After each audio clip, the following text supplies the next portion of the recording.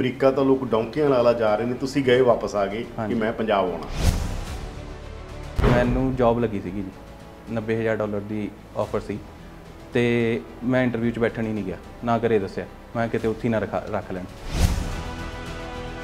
ਉੱਥੇ ਰਿਜੈਕਟ ਕੀਤੀ ਮੈਂ ਕਿਹਾ ਨਾ ਮੈਂ ਇੰਟਰਵਿਊ 'ਚ ਬਹਿਣਾ ਤੇ ਮੈਂ ਕਰਨਾ ਹੀ ਨਹੀਂ ਮੈਂ ਤਾਂ ਆਪਦੀ 27 ਤਰੀਕ ਨੂੰ ਡਿਗਰੀ ਮਿਲੀ 28 ਤਰੀਕ ਨੂੰ ਮੈਂ ਵਾਪਸ। ਹੋ ਸਕਦਾ ਆਉਣ ਵਾਲੇ ਸਮੇਂ 'ਚ ਐ ਹੋਵੇ ਕਿ ਲੋਕ ਉੱਥੇ ਜਾਣ ਪੜਨ ਥੋੜਾ ਬਹੁਤਾ ਕਾਰੋਬਾਰ ਕਰਨ ਜੌਬ ਕਰਨ, ਫਿਰ ਆ ਕੇ ਇੱਥੇ ਸੈੱਟ ਹੋਣ। ਇੰਡੀਆ ਮਾੜਾ ਨਹੀਂ ਹੈਗਾ। ਇੰਡੀਆ ਜੇ ਜੇ ਅੱਜ ਦੀ ਇੰਡੀਆ ਦੀ ਪੋਜੀਸ਼ਨ ਲਈਏ ਨਾ, ਤੇ ਬਹੁਤ ਕੰਟਰੀਆਂ ਕੰਟਰੀਜ਼ ਤੋਂ ਬੈਟਰ ਆ। ਅਮਰੀਕਾ ਚ ਰਿਸੈਸ਼ਨ ਆ, ਕੈਨੇਡਾ ਚ ਬੁਰਾ ਹਾਲ ਹੋਇਆ ਹੋਇਆ। ਉੱਥੇ 4-5 ਕਰੋੜ ਦੀ 4 ਕਰੋੜ ਦੀ ਪੋਪੂਲੇਸ਼ਨ ਆ ਜੀ। ਇਕੱਲੇ ਪੰਜਾਬ ਦੀ 3 ਕਰੋੜ ਤੋਂ ਉੱਤੇ ਦੀ ਪੋਪੂਲੇਸ਼ਨ ਆ। ਤੁਸੀਂ ਉਹ ਪੋਪੂਲੇਸ਼ਨ 'ਚ ਫ਼ਰਕ ਦੇਖੋ, ਤੁਸੀਂ ਕਿੰਨੇ ਕਿੰਨੇ ਨੂੰ ਮਾਸ ਕੇਟਰ ਕਰ ਰਹੇ ਹੋ। ਬਿਜ਼ਨਸ ਇੰਡੀਆ ਤੋਂ ਵਧੀਆ ਕਿੱਥੇ ਹੋ ਸਕਦਾ ਜੀ? ਬੈਚਲਰ ਕਰੀਏ ਮਾਸਟਰ ਕਰੀਏ ਪਲੱਸ 2 ਕਰਕੇ ਨਹੀਂ ਜਾਣਾ ਚਾਹੀਦਾ। ਮੈਂ ਕੋਈ ਅਜੇ ਤੱਕ ਇਹ ਏਜੰਟ ਸੁਣਿਆ ਨਹੀਂਗਾ ਜਾਂ ਇਹ ਜਿਹਾ ਇਮੀਗ੍ਰੇਸ਼ਨ ਦਾ ਕੰਮ ਕਰਨ ਵਾਲਾ ਬੰਦਾ ਨਹੀਂ ਸੁਣਿਆ ਉਹ ਕਹਿੰਦਾ ਬੰਦੇ ਲਿਆਓ ਜੇ 10ਵੀਂ ਵਾਲੇ ਲਿਆਓ ਮੈਂ ਭੇਜ ਦਿੰਦਾ। ਪਰ ਤੁਸੀਂ ਬੜਾ ਯੂਨੀਕ ਗੱਲ ਕਹਿੰਦੇ ਹੋ ਕਿ ਨਹੀਂ ਮੈਂ ਅਸੀਂ ਚਾਹੁੰਦੇ ਹਾਂਗੇ ਕਿ ਬੰਦੇ ਗ੍ਰੈਜੂਏਸ਼ਨ ਜਾਂ ਮਾਸਟਰ ਕਰਕੇ ਜਾਣ। ਕਿਉਂ ਭੇਜਦੇ ਹਾਂ ਜੀ ਆਪਾਂ ਕਾਲਜ 'ਚ? ਕਾਲਜ 'ਚ 2 ਸਾਲ ਲੱਗਣੇ ਆ। ਯੂਨੀਵਰਸਿਟੀ 4 ਸਾਲ ਫੀਸ ਭਰਨੀ ਪਊ ਮਿਲਣੀ ਉਹੀ ਪੀਆਰ ਪੀਆਰ ਮੁੱਦਾ ਥੋੜੀ ਹੈ ਜੀ ਪੀਆਰ ਤਾਂ ਮਿਲ ਹੀ ਜਾਣੀ ਹੈ। ਕੈਨੇਡਾ ਨੂੰ ਤਾਂ ਬੰਦੇ ਚਾਹੀਦੇ ਆ ਰੱਖਣ ਨੂੰ। ਉਹਨਾਂ ਨੇ ਤਾਂ 2030 ਤੱਕ ਬੰਦੇ ਭਰਤੀ ਕਰਨੇ ਆ ਹੋਰ। ਪੋਪੂਲੇਸ਼ਨ ਰਾਈਜ਼ ਕਰ ਰਹੇ ਆ ਉਹ ਤਾਂ।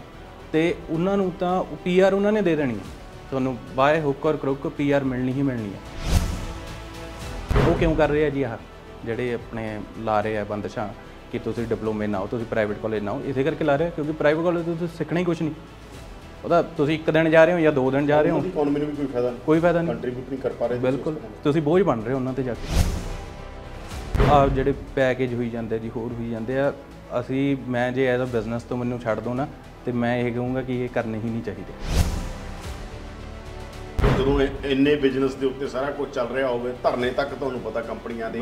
ਦਰਵਾਜ਼ਿਆਂ ਤੇ ਲੱਗ ਜਾਂਦੇ ਆ। ਤੁਸੀਂ ਇਹ ਕਲੇਮ ਕਰਦੇ ਹੋ ਕਿ ਤੁਸੀਂ ਸਾਫ਼ ਸੁਥਰਾ ਕੰਮ ਕਰਦੇ ਹੋ। ਹਾਂਜੀ। ਤੁਸੀਂ ਕਿਵੇਂ ਬਚੇ? ਸਾਡਾ ਅਸੀਂ ਸਿੰਪਲ ਰੱਖਿਆ ਜੀ ਰੂਲ ਕਿ ਜਿਹੜਾ ਬੱਚੇ ਨੂੰ ਵਰਕ ਤੇ ਜਾਣਾ ਚਾਹੀਦਾ ਜੀ ਉਹਨੂੰ ਅਸੀਂ ਸਟੂਡੈਂਟਸ ਨਹੀਂ ਪੜ੍ਹਦੇ। ਚੱਲਦਾ ਕਿ ਪੈਸੇ ਹੀ ਨਾ ਦਿਓ ਤੁਹਾਨੂੰ ਭੇਜ ਦਿੰਦੇ ਆ ਵਾਪਸ ਦੇ ਦਿਓ ਕੋਈ ਕਹਿੰਦਾ ਕੋਈ ਗੈਪ ਦੀ ਲੋੜ ਨਹੀਂ ਕੋਈ ਕੁਝ ਕਹਿੰਦਾ ਕੋਈ ਕੁਝ ਕਹਿੰਦਾ 10 ਤਰ੍ਹਾਂ ਦੇ ਲੋਕ 10 ਤਰ੍ਹਾਂ ਦੀਆਂ ਗੱਲਾਂ ਨੇ। ਪਰ ਤੁਹਾਡਾ ਵੀ ਇੱਕ ਕਲੇਮ ਆ ਕਿ ਤੁਸੀਂ 25000 ਦੀ ਸਾਰਾ ਕੰਮ ਕਰ ਦਿੰਦੇ ਹੋ। ਜੇ ਵੀਜ਼ਾ ਨਹੀਂ ਆਉਂਦਾ ਅਸੀਂ 25000 ਦਾ 25000 ਰਿਫੰਡ ਕਰਦੇ ਆ ਤੇ ਰਿਟਰਨ ਐਗਰੀਮੈਂਟ ਕਰਦੇ ਆ ਆ ਸਾਰੀਆਂ ਚੀਜ਼ਾਂ ਦਾ। ਪ੍ਰਾਈਵੇਟ ਕਾਲਜ ਤੁਸੀਂ ਅਵੋਇਡ ਕਰਦੇ ਪ੍ਰਾਈਵੇਟ ਕਾਲਜ ਅਵੋਇਡ ਨਹੀਂ ਜੀ ਪ੍ਰਾਈਵੇਟ ਕਾਲਜ ਦਿੰਦੇ ਹੀ ਨਹੀਂ। ਪਿਛਲੇ ਦੌਰ 'ਚ ਬਹੁਤ ਰੌਲਾ ਪੈ ਗਿਆ, ਖਾਸ ਤੌਰ ਤੇ ਕੈਨੇਡਾ ਨਾਲ ਜਿਸ ਤਰ੍ਹਾਂ ਦੇ ਰਿਸ਼ਤੇ ਭਾਰਤ ਦੇ ਸੀਗੇ, ਉਹਦੇ ਤੇ ਕਿਹਾ, ਹਾਲਾਂਕਿ ਉਹਨਾਂ ਨੇ ਆਪਣੇ ਲੈਵਲ ਦੇ ਉੱਤੇ ਵੀ ਕਿਹਾ ਰਿਸੈਸ਼ਨ ਦੀ ਗੱਲ ਵੀ ਚੱਲਦੀ ਹੈ। ਕਿ ਇਹ ਸੱਚ ਹੈ ਕਿ ਇਹਨਾਂ ਮੁਲਕਾਂ 'ਚ ਜਿਹੜੀ ਇਮੀਗ੍ਰੇਸ਼ਨ ਪਾਲਿਸੀ ਹੋ ਸਕਦੀ ਹੈ? ਤੇ ਆਸਟ੍ਰੇਲੀਆ ਹੋਵੇ ਜਾਂ ਕੈਨੇਡਾ ਹੋਵੇ? ਪੰਜਾਬ, ਹਰਿਆਣਾ, ਗੁਜਰਾਤ, ਜਿੱਥੇ ਮਾਸ ਮਾਈਗ੍ਰੇਸ਼ਨ ਜਿੱਥੋਂ ਹੁੰਦੀ ਸੀ, ਉਹ ਹਿਟ ਲਿਸਟ ਤੇ ਆ ਪੜ੍ਹ ਕੇ ਆਓ ਜ਼ਰੂਰ ਬਾਹਰ, ਪਰ ਆ ਕੇ ਇੰਡੀਆ 'ਚ ਕੰਮ ਕਰੋ। ਪ੍ਰੋ ਪੰਜਾਬ ਟੀਵੀ ਤੇ ਤੁਹਾਡਾ ਸਵਾਗਤ ਹੈ। ਮੈਂ ਹਾਂ ਯਾਦਵਿੰਦਰ ਸਿੰਘ। ਪ੍ਰਵਾਸ ਦੀ ਗੱਲ ਜਦੋਂ ਵੀ ਪੰਜਾਬ 'ਚ ਚੱਲਦੀ ਹੈ ਤਾਂ ਬਹੁਤ ਸਾਰੇ ਸ਼ਬਦ ਦੇ ਆਲੇ ਦੁਆਲੇ ਘੁੰਮਦੇ ਨੇ। ਅੱਜ ਕੱਲ ਸਭ ਤੋਂ ਪਪੂਲਰ ਸ਼ਬਦ ਰਿਵਰਸ ਮਾਈਗ੍ਰੇਸ਼ਨ ਹੈ ਕਿ ਲੋਕ ਉੱਥੋਂ ਮੁੜ ਆਉਣਗੇ ਰਿਸੈਸ਼ਨ ਕਰਕੇ ਜਾਂ ਹੋਰ ਕਾਰਨਾਂ ਕਰਕੇ। ਪਰ ਦੂਜਾ ਸ਼ਬਦ ਜਿਹੜਾ ਮਸ਼ਹੂਰ ਹੋਇਆ, ਜਿਹੜਾ 2000 ਦਾ ਸਾਲ ਸ਼ੁਰੂ ਹੁੰਦਾ ਉਹ ਸ਼ਬਦ ਸੀ ਮਾਸ ਮਾਈਗ੍ਰੇਸ਼ਨ ਯਾਨੀ ਬਹੁਤ ਵੱਡੇ ਪੱਧਰ ਦੇ ਉੱਤੇ ਲੋਕ ਜਾਣ ਲੱਗੇ। ਲੋਕ ਦੁਨੀਆ 'ਚ ਪਹਿਲਾਂ ਵੀ ਜਾਂਦੇ ਰਹੇ, ਆਲੇ ਦੁਆਲੇ ਪ੍ਰਵਾਸ ਕਰਨਾ ਮਨੁੱਖ ਦੇ ਸੁਭਾਅ ਦਾ ਹਿੱਸਾ ਰਿਹਾ, ਹੋਰ ਥਾਂ ਦੇ ਉੱਤੇ ਵਸਣਾ ਨਵੀਆਂ ਧਰਤੀਆਂ ਤੇ। ਪਰ ਮਾਸ ਮਾਈਗ੍ਰੇਸ਼ਨ ਨੇ ਸਵਾਲ ਵੀ ਖੜੇ ਕੀਤੇ। ਪਿਛਲੇ ਦੌਰ 'ਚ ਸਭ ਤੋਂ ਜ਼ਿਆਦਾ ਪ੍ਰਵਾਸ ਜਿਹੜਾ ਹੋਇਆ, ਉਹ ਇਥੋਂ ਇਮੀਗ੍ਰੇਸ਼ਨ ਦੇ ਨਾਂ ਦੇ ਉੱਤੇ ਹੋਇਆ ਔਰ ਬਹੁਤ ਸਾਰੇ ਇਮੀਗ੍ਰੇਸ਼ਨ ਏਜੰਟ, ਇੱਕ ਪੂਰੀ ਇੰਡਸਟਰੀ ਬਣੀ, ਇਹਨੂੰ ਲੈ ਕੇ ਬਹੁਤ ਸਾਰੇ ਸਵਾਲ ਵੀ ਪੰਜਾਬ 'ਚ ਹੁੰਦੇ ਨੇ, ਬਹੁਤ ਸਾਰੇ ਪੋਲੀਟੀਕਲ ਘੇਰਿਆਂ 'ਚ ਜਾਂ ਐਡਮਿਨਿਸਟ੍ਰੇਟਿਵ ਘੇਰਿਆਂ 'ਚ ਵੀ ਇਹਦੀ ਗੱਲ ਚੱਲਦੀ ਹੈ। ਪਰ ਦੂਜੇ ਪਾਸੇ ਇਹ ਕਿਹਾ ਜਾਂਦਾ ਹੈ ਕਿ ਪ੍ਰਵਾਸ ਜੇ ਪੰਜਾਬ 'ਚੋਂ ਨਾ ਹੁੰਦਾ, ਤਾਂ ਸ਼ਾਇਦ ਪੰਜਾਬ ਹੋਰ ਸੰਕਟਾਂ ਦਾ ਸ਼ਿਕਾਰ ਹੁੰਦਾ। ਪੰਜਾਬੀ ਜਿੱਥੇ ਵੀ ਗਏ ਨੇ, ਉਹਨਾਂ ਨੇ ਆਪਣੇ ਝੰਡੇ ਗੱਡੇ, ਉਹਨਾਂ ਨੇ ਆਪਣੀਆਂ ਬੁਲੰਦੀਆਂ ਹਾਸਲ ਕੀਤੀਆਂ, ਉਹਨਾਂ ਨੇ ਆਪਣੇ ਦੇਸ਼ ਦੀ ਗੱਲ ਪੂਰੀ ਦੁਨੀਆ 'ਚ ਰੱਖੀ। ਪੂਰੀ ਦੁਨੀਆ ਦੇ ਅੰਦਰ ਪੰਜਾਬ ਤੇ ਦੇਸ਼ ਦੀ ਚਰਚਾ ਹੁੰਦੀ ਹੈ। ਅੱਜ ਅਸੀਂ ਗੱਲ ਕਰਾਂਗੇ ਐਜੂਕੇਸ਼ਨ ਲੇਨ ਇਮੀਗ੍ਰੇਸ਼ਨ ਦੇ ਓਨਰ ਜਪ੍ਰੀਤ ਸਿੰਘ ਢਾਲੀਵਾਲ ਦੇ ਨਾਲ। ਗੱਲਬਾਤ ਕਰਦੇ ਹਾਂ ਉਹਨਾਂ ਨਾਲ ਕਿ ਇਹ ਕਹਾਣੀਆਂ ਕੀ ਨੇ ਔਰ ਕਿਉਂ ਇਮੀਗ੍ਰੇਸ਼ਨ ਲਗਾਤਾਰ ਨਿਸ਼ਾਨੇ ਤੇ ਹੁੰਦੀ ਹੈਗੀ। ਤੇ ਇਹੀ ਜੀ ਉਹ ਕਿਹੜੀ ਗੱਲ ਕਰਦੇ ਨੇ ਜਿਹਦੇ ਜ਼ਰੀਏ ਉਹ ਕੋਈ ਸਾਫ਼ ਸੁਥਰਾ ਕੰਮ ਕਰ ਰਹੇ ਨੇ। ਸਵਾਗਤ ਹੈ ਬਾਈ ਜੀ ਬਹੁਤ ਬਹੁਤ ਤੁਹਾਡਾ। ਥੈਂਕ ਯੂ ਜੀ ਥੈਂਕ ਯੂ ਜੀ। ਸਭ ਤੋਂ ਪਹਿਲਾਂ ਆਪਾਂ ਸ਼ੁਰੂਆਤ ਇੱਥੋਂ ਹੀ ਕਰ ਲਈਏ। ਇਮੀਗ੍ਰੇਸ਼ਨ ਏਜੰਟ ਜਦੋਂ ਕੋਈ ਸ਼ਬਦ ਸੁਣਦਾ ਹੈਗਾ ਜਾਂ ਇਮੀਗ੍ਰੇਸ਼ਨ ਕੰਪਨੀ ਸ਼ਬਦ ਹੁੰਦਾ, ਐ ਕਿਉਂ ਆਗਾ ਕਿ ਇੱਕ 네ਗੇਟਿਵਿਟੀ ਨਾਲ ਜੁੜ ਗਿਆ ਇਹ ਸ਼ਬਦ, ਜਦੋਂ ਕਿ ਬਿਜ਼ਨਸ ਤਾਂ ਬਿਜ਼ਨਸ ਹੁੰਦਾਗਾ ਕੰਮ ਤਾਂ ਕੰਮ ਹੁੰਦਾਗਾ ਜੁੜਨਾ ਤਾਂ ਨਹੀਂ ਚਾਹੀਦਾ, ਐ ਕਿਉਂ ਜੁੜ ਗਿਆ? ਇਹ ਜੀ ਕੁਛ ਕਹਿ ਲਓ ਤੁਸੀਂ, ਦੇਖੋ ਕੰਮ ਤਾਂ ਅਸੀਂ ਵੀ ਨਾ ਰੱਖਿਆ ਐਜੂਕੇਸ਼ਨ ਤੇ ਰੱਖਿਆ ਕਿ ਐਜੂਕੇਸ਼ਨ ਦੇ ਰਹੇ ਆ ਬੱਚਿਆਂ ਨੂੰ, ਹਨਾ? ਚਾਹੇ ਉਹ ਕਿਸੇ ਵੀ ਫਾਰਮ ਚ ਹੋਵੇ, ਚਾਹੇ ਉਹ ਲੈਂਗੁਏਜ ਦੀ ਫਾਰਮ ਚ, ਕਿਸੇ ਵੀ ਫਾਰਮ ਚ। ਹੁਣ ਆ ਗਿਆ ਜੀ ਇਮੀਗ੍ਰੇਸ਼ਨ ਦਾ। ਇਮੀਗ੍ਰੇਸ਼ਨ ਦਾ ਜਦੋਂ ਤਾਂ ਇਸ, ਮੈਂ ਕਹਿੰਦਾ ਇਮੀਗ੍ਰੇਸ਼ਨ ਵਾਲਿਆਂ ਨੂੰ ਛੱਡੋ ਜੀ ਨਾਲ ਜਿਹੜੇ ਇਮੀਗ੍ਰੇਸ਼ਨ ਤੇ ਜਾ ਰਹੇ ਆ ਨਾ ਉਹਨਾਂ ਦਾ ਮਿਕਸਚਰ ਆ ਇਹ ਦੋਨਾਂ ਦੇ ਕੰਮ ਖਰਾਬ ਕੀਤੇ ਹੋਏ ਦਾ ਇਹ ਰਿਜ਼ਲਟ ਆ ਕਿ ਇਹ ਸੁਣਨ ਨੂੰ ਮਿਲਦਾ ਕੁਝ ਕਾਲੀਆਂ ਭੇਡਾਂ ਦਾ। ਬਿਲਕੁਲ। ਜਿਹੜੀਆਂ ਹਰ ਥਾਂ ਤੇ ਕਿਸੇ ਬਿਜ਼ਨਸ ਚ ਹੁੰਦੀਆਂ। ਬਿਲਕੁਲ ਜੀ ਬਿਲਕੁਲ। ਹੁਣ ਜੀ ਜਿਹੜਾ ਬੱਚਾ ਦੇਖੋ ਐਲੀਜੀਬਿਲਟੀ ਆ ਹਰੇਕ ਚੀਜ਼ ਦੀ। ਜੇ ਕਿਸੇ ਨੇ ਬਾਹਰ ਜਾਣਾ ਉਹਦੀ ਐਲੀਜੀਬਿਲਟੀ ਆ। ਉਹ ਆਪਾਂ ਫੋਲੋ ਨਹੀਂ ਕਰਨੀ। ਉਹਦੇ ਆਪਾਂ ਲੂਪ ਹੋਲ ਲੱਭਣੇ ਆ। ਤੇ ਉਹਨੂੰ ਆਪਾਂ ਜਿਹੜੀ ਜਿਹੜਾ ਬੱਚਾ ਨਹੀਂ ਜਾ ਸਕ ਰਿਹਾ ਜਾਂ ਉਸ ਵੀਜ਼ੇ 'ਚ ਨਹੀਂ ਜਾ ਸਕ ਰਿਹਾ ਉਹਨੂੰ ਉਸ ਵੀਜ਼ੇ 'ਚ ਪਾਉਣਾ। ਉਹਨੇ ਡੈਫੀਨਿਟਲੀ ਖਰਾਬ ਕਰਨਾ ਹੀ ਕਰਨਾ ਜੀ। ਉਹ ਉਹਦਾ ਸ਼ਿਕਾਰ ਹੋਇਆ ਜੀ ਇਹ। ਤਾਂ ਮੈਂ ਜਿਵੇਂ ਗੱਲ ਕਰਦਾਗਾ ਕਿ ਫਿਰ ਤੁਸੀਂ ਕਿਵੇਂ ਬਚਦੇ ਹੋਗੇ? ਕਿਉਂਕਿ ਜਦੋਂ ਇੰਨੇ ਬਿਜ਼ਨਸ ਦੇ ਉੱਤੇ ਸਾਰਾ ਕੁਝ ਚੱਲ ਰਿਹਾ ਹੋਵੇ ਧਰਨੇ ਤੱਕ ਤੁਹਾਨੂੰ ਪਤਾ ਕੰਪਨੀਆਂ ਦੇ ਦਰਵਾਜ਼ਿਆਂ ਤੇ ਲੱਗ ਜਾਂਦੇ ਆ। ਤੁਸੀਂ ਇਹ ਕਲੇਮ ਕਰਦੇ ਹੋ ਕਿ ਤੁਸੀਂ ਸਾਫ਼ ਸੁਥਰਾ ਕੰਮ ਕਰਦੇ ਹੋ। ਹਾਂਜੀ। ਤੁਸੀਂ ਕਿਵੇਂ ਬਚੇ ਤੋਂ? ਅ ਦੇਖੋ ਜੀ ਐਲੀਜੀਬਿਲਟੀ ਤੇ ਚੱਲਦੇ ਆ ਕਿ ਜਿਹੜੇ ਬੱਚੇ ਦੀ ਹੁਣ ਜਿਹਦੀ ਵਰਕ ਦੀ ਐਲੀਜੀਬਿਲਟੀ ਆ ਬੱਚੇ ਦਾ 10 12 ਸਾਲਾਂ ਦਾ ਗੈਪ ਆ 15 ਸਾਲਾਂ ਦਾ ਗੈਪ ਆ ਉਹਨੇ ਕੋਈ ਪੜ੍ਹਾਈ ਨਹੀਂ ਕੀਤੀ 12ਵੀਂ ਤੋਂ ਬਾਅਦ।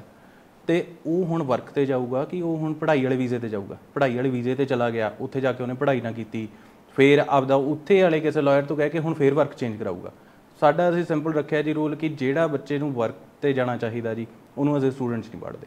ਕਿ ਜੇ ਤਾਂ ਪੜ੍ਹਨਾ 12ਵੀਂ ਕੀਤੀ ਆ ਰੀਸੈਂਟਲੀ ਕੀਤੀ ਆ 4-5 ਸਾਲਾਂ ਦਾ ਗੈਪ ਆ, ਉਹ ਜਸਟੀਫਾਈਡ ਹੁੰਦਾ ਜੀ। 4-5 ਸਾਲ ਈਜ਼ੀਲੀ ਆਪਾਂ ਐਕਸਪਲੇਨ ਕਰ ਸਕਦੇ ਆ ਕਿ ਕਿਉਂ ਬੱਚਾ ਨਹੀਂ ਪੜਿਆ ਹੁਣ ਜਿਹਨੇ 10 ਸਾਲ ਦਾ ਗੈਪ ਆ ਗਿਆ ਉਹ ਕਿਵੇਂ ਪੜ੍ਹ ਲੂਗਾ ਜੀ?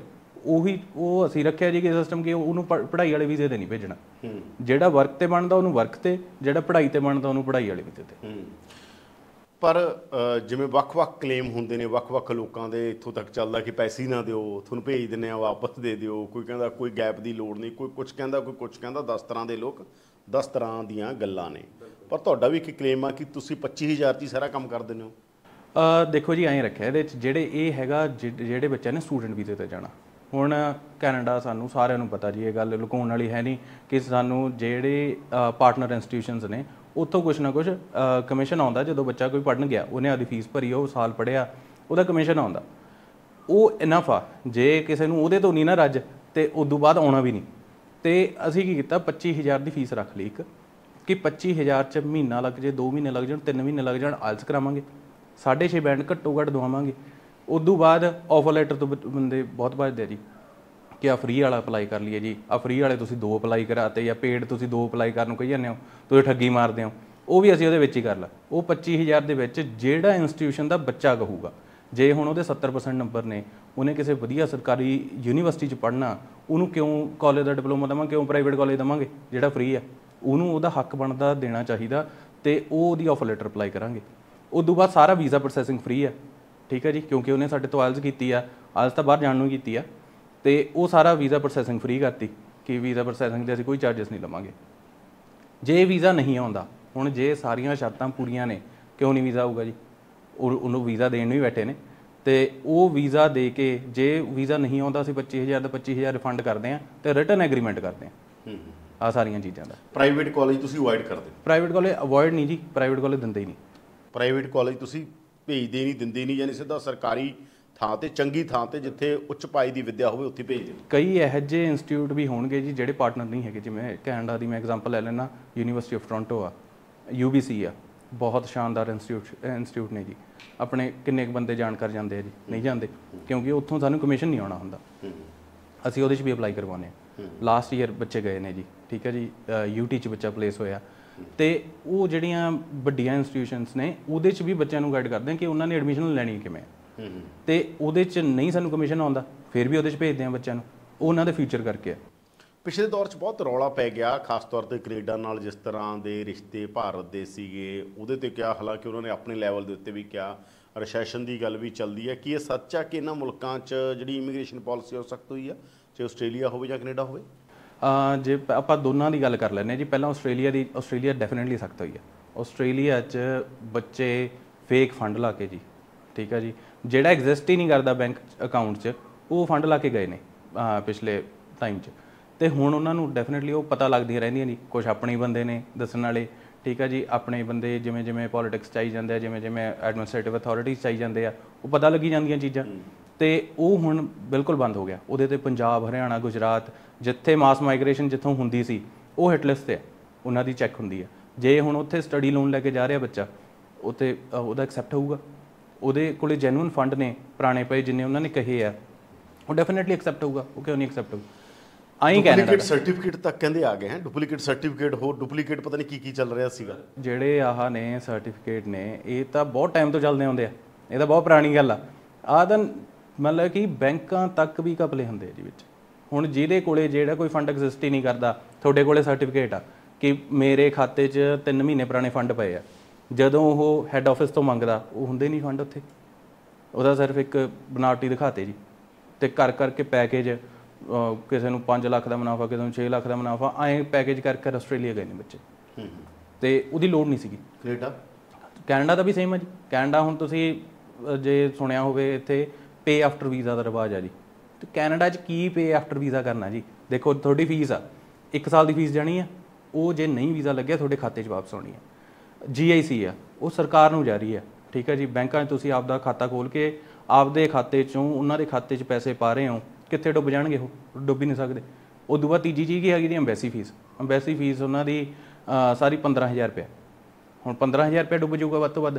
ਉਹ 15000 ਕਰਕੇ 5-5 ਲੱਖ 6-6 ਲੱਖ ਰੁਪਏ ਦਿੱਤਾ ਜੀ ਲੋਕਾਂ ਨੇ ਤੇ ਗਏ ਪ੍ਰਾਈਵੇਟ ਕਾਲਜ ਨੇ ਜਿਹਦਾ ਅੱਗੇ ਕੋਈ ਫਿਊਚਰ ਨਹੀਂ ਜਿਹੜੇ ਰੂਲ ਚੇਂਜ ਹੋਏ ਨੇ। ਹੂੰ ਤੇ ਜੀਏਸੀ ਜੀਆਈਸੀ ਵੀ ਜਿਹੜਾ ਵਧਾਤਾ ਉਹਦੇ ਨਾਲ ਵੀ ਕਾਫੀ?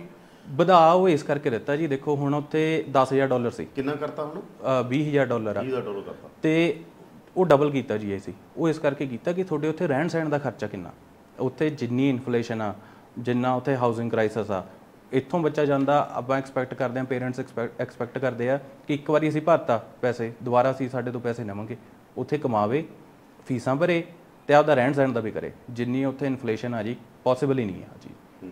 ਤੇ ਤਾਂ ਹੀ ਉਹਨਾਂ ਨੇ ਜੀਆਈਸੀ ਦਾ ਉਹ ਡਬਲ ਕਰਤਾ ਕਿ ਬੱਚਾ ਇੱਥੇ ਆ ਕੇ ਭੁੱਖਾ ਨਾ ਮਰੇ। ਇੱਥੇ ਆ ਕੇ ਉਹਨੂੰ ਆਏ ਨਾ ਹੋਵੇ ਕਿ ਮੈਂ ਕਿਸੇ ਨਾ ਕਿਸੇ ਪੈਸੇ ਕਮਾਉਣ ਦੇ ਚੱਕਰ 'ਚ ਕਿਸੇ ਗਲਤ ਐਕਟੀਵਿਟੀ 'ਚ ਇੰਡਲਜ ਹੋਵਾਂ ਜਾਂ ਉੱਥੇ ਰਹਿਣ ਸਹਿਣ ਦਾ ਉਹਦਾ ਘੱਟੋ ਘੱਟ ਹੋਵੇ। ਐ ਸੜਕਾਂ ਤੇ ਨਾ ਬੈਠਾ ਰਹੇ। ਯੂਕੇ 'ਚ ਆਪਾਂ ਪਿੱਛੇ ਜੇ ਦੇਖਿਆ ਯੂਕੇ 'ਚ ਨਿਊਜ਼ ਆ ਰਹੀ ਸੀਗੀ ਕਿ ਬਹੁਤ ਲੋਕੀ ਮਜਬੂਰ ਨੇ ਸੜਕਾਂ ਤੇ ਪੈਣ ਨੂੰ। ਆਹੀ ਸਾਰਾ ਕੁਝ ਕੇਟਰ ਕਰਨ ਨੂੰ ਕੈਨੇਡਾ ਕੈਨੇਡੀਅਨ ਗਵਰਨਮੈਂਟ ਨੇ ਆ ਚੇਂਜ ਕੀਤਾ। ਤੁਸੀਂ ਕਹਿੰਦੇ ਹੋਗੇ ਕਿ ਕੁਆਂਟੀਟੀ ਨਹੀਂ ਕੁਆਲਿਟੀ ਐਜੂਕੇਸ਼ਨ ਦੀ ਲੋੜ ਆ, ਜੇ ਅਸੀਂ ਇੱਥੇ ਬੈਚਲਰ ਕਰੀਏ ਮਾਸਟਰ ਕਰੀਏ ਪਲੱਸ 2 ਕਰਕੇ ਨਹੀਂ ਜਾਣਾ ਚਾਹੀਦਾ। ਮੈਂ ਕੋਈ ਅੱਜ ਤੱਕ ਇਹ ਏਜੰਟ ਸੁਣਿਆ ਨਹੀਂਗਾ ਜਾਂ ਇਹ ਜਿਹਾ ਇਮੀਗ੍ਰੇਸ਼ਨ ਦਾ ਕੰਮ ਕਰਨ ਵਾਲਾ ਬੰਦਾ ਨਹੀਂ ਸੁਣਿਆ, ਉਹ ਕਹਿੰਦਾ, ਬੰਦੇ ਲਿਆਓ, ਜੇ 10ਵੀਂ ਵਾਲੇ ਲਿਆਓ, ਮੈਂ ਭੇਜ ਦਿੰਦਾ। ਪਰ ਤੁਸੀਂ ਬੜਾ ਯੂਨੀਕ ਗੱਲ ਕਹਿੰਦੇ ਹੋ ਕਿ ਨਹੀਂ, ਮੈਂ ਅਸੀਂ ਚਾਹੁੰਦੇ ਹਾਂ ਕਿ ਬੰਦੇ ਗ੍ਰੈਜੂਏਸ਼ਨ ਜਾਂ ਮਾਸਟਰ ਕਰਕੇ ਜਾਣ। ਇਹਦੇ ਚ ਜੀ ਚਾਹੇ ਜਿੱਥੇ ਮਰਜ਼ੀ ਜਾ ਰਿਹਾ ਬੱਚਾ ਭਾਵੇਂ 12ਵੀਂ ਕਰਕੇ ਜਾ ਰਿਹਾ। ਮੈਂ ਕਹਿੰਦਾ 12ਵੀਂ ਕਰਕੇ ਵੀ ਜਾ ਰਿਹਾ, ਉਹ ਘੱਟੋ ਘੱਟ ਉਹੋ ਜੀ ਥਾਂ ਤੇ ਤਾਂ ਜਾਵੇ ਨਾ ਜਿੱਥੇ ਉਹ ਸੈੱਟ ਹੋਵੇ। ਸਾਰੀ ਉਮਰ ਦੀ ਉਹ ਪੀਆਰ ਦੇ ਚੱਕਰ 'ਚ ਕਿਉਂ ਭੇਜਦੇ ਆ ਜੀ ਆਪਾਂ ਕਾਲਜ 'ਚ? ਕਾਲਜ 'ਚ 2 ਸਾਲ ਲੱਗਣੇ ਆ ਯੂਨੀਵਰਸਿਟੀ 4 ਸਾਲ ਫੀਸ ਭਰਨੀ ਪਊ, ਮਿਲਣੀ ਉਹੀ ਪੀਆਰ ਪੀਆਰ ਮੁੱਦਾ ਥੋੜੀ ਹੈ ਜੀ ਪੀਆਰ ਤਾਂ ਮਿਲ ਹੀ ਜਾਣੀ ਆ। ਕੈਨੇਡਾ ਨੂੰ ਤਾਂ ਬੰਦੇ ਚਾਹੀਦੇ ਆ ਰੱਖਣ ਨੂੰ। ਉਹਨਾਂ ਨੇ ਤਾਂ 2030 ਤੱਕ ਬੰਦੇ ਭਰਤੀ ਕਰਨੇ ਆ ਹੋਰ। ਪਾਪੂਲੇਸ਼ਨ ਰਾਈਜ਼ ਕਰ ਰਹੇ ਆ ਉਹ ਤਾਂ। ਤੇ ਉਹਨਾਂ ਨੂੰ ਤਾਂ ਪੀਆਰ ਉਹਨਾਂ ਨੇ ਦੇ ਦੇਣੀ ਆ। ਤੁਹਾਨੂੰ ਬਾਏ ਹੁੱਕ ਔਰ ਕਰੁੱਕ ਪੀਆਰ ਮਿਲਣੀ ਹੀ ਮਿਲਣੀ ਆ। ਹੁਣ ਕੀ ਆ ਤੁਸੀਂ ਉਹ ਪੀਆਰ ਦੇ ਚੱਕਰ 'ਚ ਆਪਦੀ ਐਜੂਕੇਸ਼ਨ ਸ਼ਾਰਟ ਕਰ ਲਈ ਸਾਰੀ ਉਮਰ ਲਈ।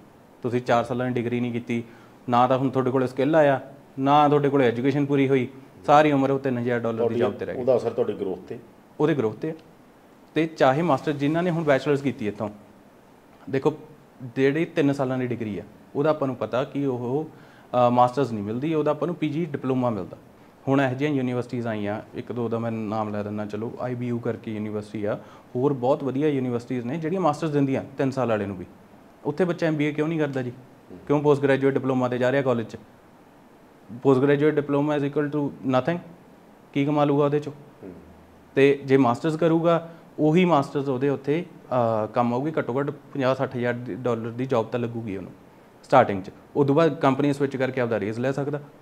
ਜਿੰਨਾ ਮਰਜ਼ੀ ਲੈ ਲੇ।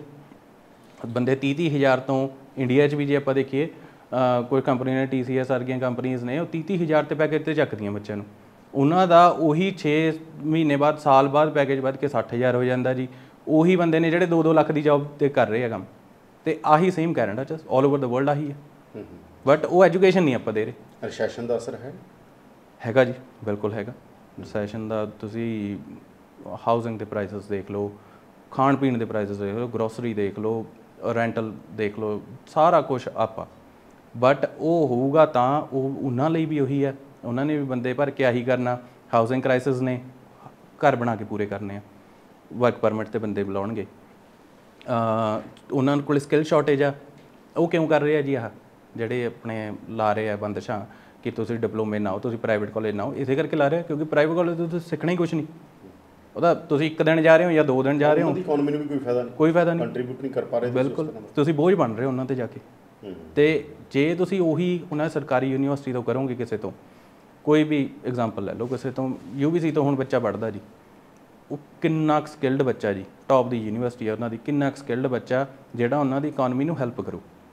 ਕੋਈ ਵਧੀਆ ਇਕਨੋਮਿਸਟ ਨਿਕਲਦਾ ਉੱਥੋਂ। UBC ਤਾਂ ਸਕਾਲਰਸ਼ਿਪ ਵਗੈਰਾ ਵੀ ਦੇ ਦਿੰਦੀ ਹੈਗੀ ਦੇ ਦਿੰਦੀ ਹੈ ਜੀ। ਸਗੋਂ ਜਿੰਨੀ ਤਗੜੀ ਯੂਨੀਵਰਸਿਟੀ ਐਡਮਿਸ਼ਨ ਲੈਣੀ ਔਖੀ ਆ। ਪੜ੍ਹਾਈ ਉਹਦੇ ਕੰਪੈਰੀਟਿਵਲੀ ਬਹੁਤ ਸੌਖੀ ਹੈ ਜੀ। ਕਰਨੀ ਕੋਈ ਬੋਝ ਨਹੀਂ ਪੈਂਦਾ। ਯੂਨੀਵਰਸਿਟੀ ਆਫ ਵਿਨੀਪੈਗ 14000 ਫੀਸ ਹੈ ਜੀ 14 15000 ਡਾਲਰ। ਉਹਦੇ ਉੱਤੇ ਵੀ ਸਕਾਲਰਸ਼ਿਪ ਮਿਲ ਜਾਂਦੀ ਹੈ। ਕਈ ਪ੍ਰਾਈਵੇਟ ਸਕਾਲਰਸ਼ਿਪਸ ਹੈਗੀਆਂ ਨੇ। ਮੈਂ ਆਪ ਸਕਾਲਰਸ਼ਿਪ ਤੇ ਪੜ੍ਹਿਆ ਤੇ ਸਾਨੂੰ ਪਤਾ ਕਿ ਉਹ ਪ੍ਰਾਈਵੇਟ ਸਕਾਲਰਸ਼ਿਪਸ ਕਿਵੇਂ ਲੈਣੀ ਹੈ। ਉਹ ਬੱਚੇ ਲੈਂਦੇ ਹੀ ਨਹੀਂ ਜੀ ਆਪਣੇ। ਉਹ ਜਿਹੜੇ ਐਡਵਾਂਟੇਜ ਫੀਚਰਸ ਨੇ ਨਾ ਉਹ ਸਿਰਫ ਪ੍ਰਾਈਵੇਟ ਕਾਲਜਾਂ ਕਰਕੇ ਜਾਂ ਸਿਰਫ ਡਿਪਲੋਮਾ ਕਰਨ ਦੇ ਜਾਣ ਦੇ ਚੱਕਰਾਂ ਕਰਕੇ ਉਹ ਛੱਡੀ ਜਾ ਰਹੇ। ਉੱਥੇ ਤਾਂ ਸਾਊਥ ਏਸ਼ੀਆ ਲਈ ਇੱਕ ਸਪੈਸ਼ਲ ਉਹ ਨੇ ਮੇਰੇ ਇੱਕ ਦੋਸਤ ਗਏ ਨੇ ਮਾਸਟਰਸ ਕੀਤੀ ਉਹਨਾਂ ਨੇ ਜੇਐਨਯੂ ਚ ਪੋਲੀਟੀਕਲ ਸਾਇੰਸ ਹੁਣ ਉੱਥੇ ਉਹਨਾਂ ਨੇ ਪੀਐਚਡੀ ਕੀਤੀ ਹੁਣ ਉੱਥੇ ਪੜ੍ਹਾ ਰਹੇ ਨੇ ਯੂਬੀਸੀ ਉਹ। ਹਾਂਜੀ।